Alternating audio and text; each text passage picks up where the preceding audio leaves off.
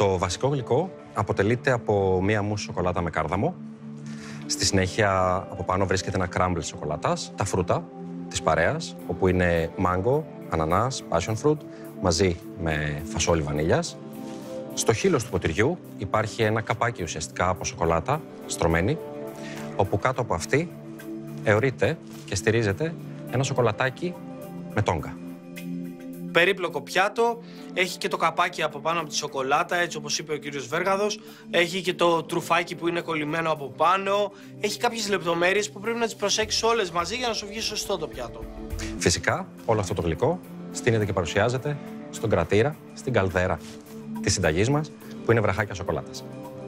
Το σοκολατάκι το είδα από την αρχή. Αλλά λέω μήπως μας το έχει έτοιμο και μας το δώσει απλά να το κολλήσουμε. Χρήστο, τι να προσέξουν τα παιδιά σε αυτό το γλυκό; Θα ξεκινήσω από πάνω προς τα κάτω, όπου επάνω το καπάκι που βρίσκεται στο χείλος του ποτηριού είναι με στρωμένη σοκολάτα. Θα πρέπει να προσέξετε πάρα πολύ καλά το πάχος της σοκολάτας. Αν είναι πολύ λεπτό, το βάρος από το σοκολατάκι θα σας ρίξει το καπάκι στο κέντρο του γλυκού. Αν είναι πολύ χοντρό, δεν θα μπορέσει να σπάσει με το κοτάλι.